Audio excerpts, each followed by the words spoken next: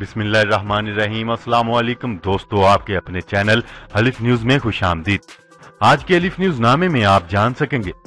امریکہ کا مشرق وسطی میں مزید ایک ہزار فوجی تعینات کرنے کا بڑا فیصلہ۔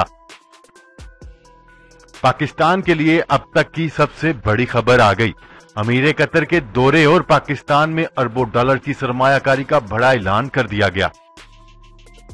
آرمی چیف سے چینی پیپلز لبریشن آرمی کے کمانڈر کی اہم ملاقات۔ ترکی کی روس کے ساتھ ایئر ڈیفنس سسٹم ڈیل پر امریکہ کو پریشانی لاحق۔ امریکہ کے ڈیل ختم کروانے کے تمام حربے ناکام۔ مقبوضہ کشمیر میں فائرنگ، دو کشمیری نوجوان شہید ہو گئے۔ پیرس ایئر شو میں پاکستانی تیارے جی ایف سیونٹین تھنڈر نے سہر تاری کر دیا۔ ایئر شو میں اسی سے زائد ممالک حصہ لے رہے ہیں۔ روسی صدر ولادیمیر پیوٹن کا عمران خان کے ساتھ کرگستان میں ملاقات کے دوران بڑا شکوا وفاقی کابینہ نے قرضوں کی تحقیقات کے لیے ہائی پاور کمیشن بنانے کی بڑی منظوری دے دی ہے۔ مقبوضہ کشمیر بم دھماکے میں دو بھارتی فوجی ہلاک اور انیس زخمی ہو گئے۔ بجٹ منظور نہیں ہونے دیں گے۔ شہباز شریف، فضل الرحمان اور بلاول بھٹو کا اتفاق ہو گیا۔ حکومت کے لیے خطرے کی گھنٹی بجا دی۔ جی تو دوستو، یہ تھی ہماری آج کی ہیڈ لائنز۔ اب بڑھتے ہیں آج کے سوال کی طرف۔ تو دوستو، آج کا ہمارا سوال یہ ہے کہ کیا عمران خان ملک کا سیاسی گند صاف کرنے میں کامیاب ہو جائیں گے؟ جی ہاں جی نہیں۔ تو دوستو، اپنی رائے کا اظہار کمنٹ سیکشن میں ضرور کیجیے گا اور اس سوال کا جواب دینے کے لیے اپنی سکرین پر نظر آنے والے آئی کے بٹن پر کلک کر کے ووٹ کے ذریعے اپنا جواب ضرور دیجیے گا۔ ایک نظر ڈالتے ہیں کل کے پوچھے گئے سوال کے رزلٹ کی طرف۔ جی تو دوستو، کل کی ویڈیو میں ہم نے آپ سے سوال پوچھا تھا کہ کیا آپ وزیر اعظم عمران خان کی جانب سے پچھلی حکومتوں کے بے تحاشا قرضوں اور لوٹ مار پر انکوائری کمیشن بنانے کے حق میں ہیں؟ میں بہت بڑی تعداد میں لوگوں نے حصہ لیا اور اٹھانوے فیصد لوگوں کا کہنا تھا کہ جی ہاں انکوائری کمیشن بننے کے حق میں ہے اور صرف ایک فیصد لوگوں کا کہنا تھا کہ جی نہیں۔ السلام علیکم دوستو، آپ کے اپنے چینل علیف نیوز میں خوش آمدید کہیں گے اور میں ہوں آپ کے ساتھ ماجد علی۔ دنیا بھر کی خبروں سے باخبر رہنے کے لیے ہمارے چینل علیف نیوز کو سبسکرائب کر لیں اور خبر اچھی لگے تو لائک اور شیئر ضرور کیجیے گا۔ اب بڑھتے ہیں خبروں کی تفصیلات کی طرف۔ امریکہ نے تیل بردار بحری جہازوں پر تازہ حملے کے بعد مشرق وسطی میں اپنے مزید ایک ہزار فوجی تعینات کرنے کا بڑا فیصلہ کر لیا۔ بین الاقوامی خبر ادارے کے مطابق خلیج امان میں جمعرات کو دو تیل بردار ٹینکروں پر حملے کے بعد مشرق وسطی میں مزید کشیدگی میں اضافہ ہو گیا ہے، جس کے بعد امریکہ نے اپنے مزید ایک ہزار فوجی بھیجنے کا بڑا فیصلہ کر لیا ہے۔ قبل ازیں امریکہ نے ایران پر جوہری توانائی کے عالمی معاہدوں سے رو گردانی کر کے ایٹمی پروگرام جاری رکھنے کا الزام عائد کر کے قطر میں اپنی فوجی بیس میں فائٹر جیٹ بھیج کر جنگ کا پیغام دے دیا تھا۔ خبر کے اگلے حصے میں بات کرتے ہیں۔ قطر کے امیر شیخ تمیم بن حمد الثانی اتوار والے دن اسلام آباد پہنچیں گے۔ پاکستان اور قطر کے اعلیٰ سطحی رابطوں کے امیر قطر نے پاکستان کے دورے کا بڑا فیصلہ کیا ہے۔ ذرائع کا کہنا ہے کہ دورہ پاکستان کے موقع پر امیر قطر پاکستان میں بائیس ارب ڈالر کی سرمایہ کاری کریں گے۔ دفتر خارجہ کے ترجمان ڈاکٹر محمد فیصل کے مطابق وزیر اعظم پاکستان عمران خان اور امیر قطر کے درمیان ٹیلی فونک رابطہ بھی ہوا ہے۔ خبر کے اگلے حصے میں بات کرتے ہیں۔ آرمی چیف سے چینی پیپل لبریشن آرمی کے کمانڈر کی جی ایچ کیو میں اہم ملاقات ہوئی۔ یادگار شہدہ پر پھول چڑھائے۔ خطے میں قیام امن کے لیے پاک آرمی کی کوششوں کی تعریف کی۔ آئی ایس پی آر سے جاری کردہ بیان کے مطابق چینی پیپل لبریشن آرمی کے کمانڈر نے جی ایچ کیو میں آرمی چیف جنرل کمر جوید باجوہ سے اہم ملاقات کی۔ اس موقع پر چینی کمانڈر کو گارڈ آف آنر پیش کیا گیا۔ چینی کمانڈر نے یادگار شہدہ پر پھول چڑھائے۔ اس موقع پر باہمی دلچسپی کے امور پر تبادلہ خیال کیا گیا۔ آرمی چیف نے کہا کہ پاکستانی فوج اقتصادی راہداری کی سیکیورٹی کے لیے تعاون جاری رکھے گی۔ جنرل ہین نے پاک فوج کی دہشت گردی کے خلاف جنگ میں کامیابی کو سراہا اور خطے میں قیام امن کے لیے پاک آرمی کی کوششوں کی تعریف کی۔ خبر کے اگلے حصے میں بات کرتے ہیں۔ ترکی کی روس کے ساتھ S four hundred air defence system کی خریداری کی ڈیل پر امریکہ کو پریشانی لاحق ہے اور امریکہ انکرا سے اصرار کر رہا ہے کہ وہ اس فیصلے پر نظر ثانی کرے۔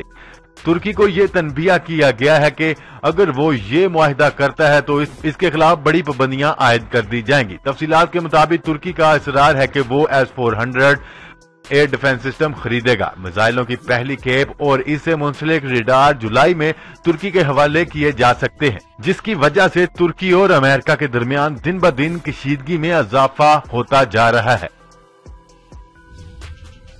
خبر کے اگلے حصے میں بات کرتے ہیں۔ قابض بھارتی فورسز نے مقبوضہ کشمیر کے علاقے اننت ناگ میں فائرنگ کر کے دو کشمیری نوجوانوں کو شہید کر دیا۔ تفصیلات کے مطابق قابض بھارتی فورسز نے مقبوضہ کشمیر میں ظلم و بربریت جاری رکھتے ہوئے اننت ناگ میں دو معصوم کشمیری نوجوانوں کو فائرنگ کر کے شہید کر دیا۔ کشمیری میڈیا کا کہنا ہے کہ ظالم بھارتی فوج کی جانب سے کشمیری نوجوانوں کی شہادت کے بعد علاقے میں غیر اعلانیہ کرفیو نافذ کر دیا گیا، جبکہ انٹرنیٹ اور موبائل فون سروسز بھی بند کر دی گئی ہیں۔ خبر کے اگلے حصے میں بات کرتے ہیں فرانس کے دارالحکومت میں ہونے والے بین الاقوامی ایئر شو میں پاکستان کی جی ایف سیونٹین تھنڈر لڑاکا تیارے کے فضائی مظاہرے نے سحر تاری کر دیا۔ تفصیلات کے مطابق جی ایف سیونٹین، تھنڈر، اس بین الاقوامی ایئر شو میں روزانہ کی بنیاد پر اپنی بہترین اور اعلی صلاحیتوں کے ساتھ اپنی اڑان جاری رکھے گا۔ غیر ملکی خبر ساتھ دارے کے مطابق لاورجے میں پیرس میں ہونے والے سات روزہ ترپنویں بین الاقوامی ایئر شو کی افتتاحی تقریب میں پاکستانی ایئر فورس کے لڑاکا تیارے جی ایف سیونٹین تھنڈر نے اپنی کارکردگی کا شاندار مظاہرہ پیش کیا۔ اس پروکار تقریب کا افتتاح فرانسیسی صدر میکرون نے کیا۔ خبر کے اگلے حصے میں بات کرتے ہیں۔ وزیر اعظم عمران خان سے چند دن قبل کرگستان کے دارالحکومت بیشکک میں شنگھائی تعاون تنظیم میں شرکت کی، جہاں ان کی روسی صدر ولادیمیر پیوٹن سے اہم ملاقات ہوئی، جبکہ وہ کھانے کی میز پر بھی ایک دوسرے کی بغل میں بیٹھے ہوئے نظر آئے، جو کہ میڈیا کی توجہ کا مرکز بنا رہا۔ نیوز رپورٹ کے مطابق ذرائع نے دعویٰ کیا ہے کہ پاکستان اور روس کے درمیان تعلقات میں گرم جوشی نہ ہونے کی وجہ سے روسی صدر ولادی میر پیوٹن نے عمران خان کو ملاقات کے دوران بتائی۔ ولادیمیر پیوٹن نے عمران خان سے سابق حکومت کے رویے کے بارے میں شکوا کیا۔ نجی ٹی وی کے مطابق روسی صدر نے کہا کہ تعلقات کی مضبوطی پر سابق حکومت نے مؤثر کردار ادا نہیں کیا، جبکہ آج سے قبل اس قدر اعلی سطح رابطوں کی کوشش بھی نہیں کی گئی۔ روسی صدر کا مزید کہنا تھا کہ ماضی میں اس طرح کا رابطہ نہیں کیا گیا، جس طرح ہونا چاہیے تھا، جبکہ آخری مرتبہ پرویز مشرف کے دور میں دور اقتدار میں اعلی سطح رابطہ ہوا تھا۔ وزیر اعظم عمران خان نے کہا کہ پاکستان روس سے دو طرفہ تعلقات کے فروغ میں وسط کا خواہش مند ہے۔ خبر کے اگلے اور اہم حصے میں بات کرتے ہیں۔ معاون خصوصی برائے احتساب شہزاد اکبر نے کہا ہے کہ وفاقی کابینہ نے کمیشن آف انکوائری بنانے کی منظوری دے دی ہے۔ Deputy chairman NAB Hassan Asghar کو انکوائری کمیشن کا سربراہ بنانے کی منظوری دی گئی ہے۔ اپنی مرضی سے کسی بھی ممبر کو کمیشن میں لے سکیں گے۔ تفصیلات کے مطابق اسلام آباد میں معاون خصوصی برائے اطلاعات فردوس عاشق اوان کے ساتھ مشترکہ پریس کانفرنس کرتے ہوئے شہزاد اکبر نے کہا کہ کابینہ نے کمیشن آف انکوائری کی منظوری دے دی ہے۔ کمیشن آف انکوائری کے قیام کے بارے میں نوٹیفکیشن کل تک جاری ہو جائے جائے گا۔ خبر کے اگلے حصے میں بات کرتے ہیں۔